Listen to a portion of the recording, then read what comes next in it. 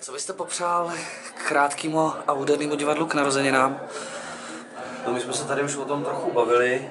Eh, Já teda nevím, jestli mluvím za všechny, ale určitě za Marunu, že prostě je vlastně příjemný, že člověk si může eh, v nějakém stádiu svého hereckého, svý herecký profese, když prostě vidí kauďáky uvědomit, tam kdy si začínal, tam, kde byl vždycky, když vlastně vidíme KUD, tak si vždycky vlastně řekneme, že je dobře, že už tam nejsme.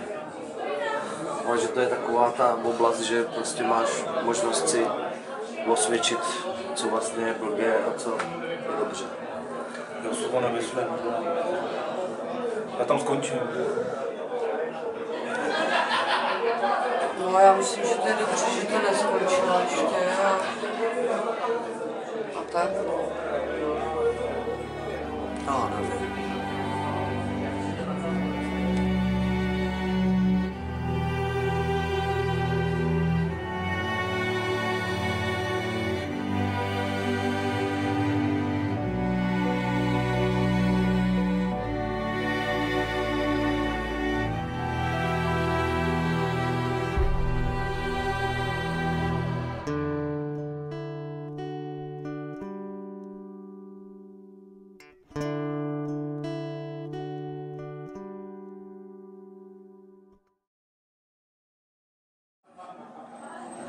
Tady není Kuba snad?